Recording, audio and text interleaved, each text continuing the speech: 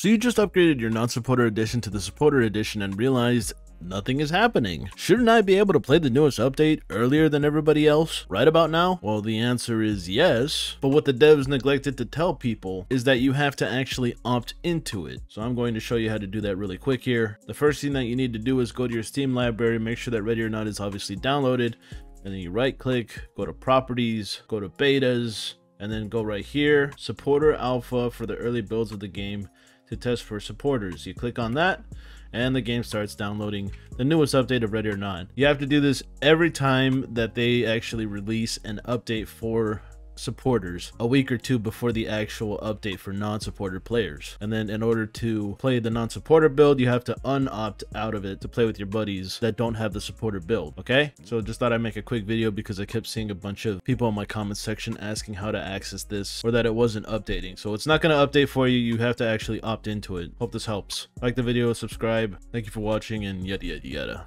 See you next time.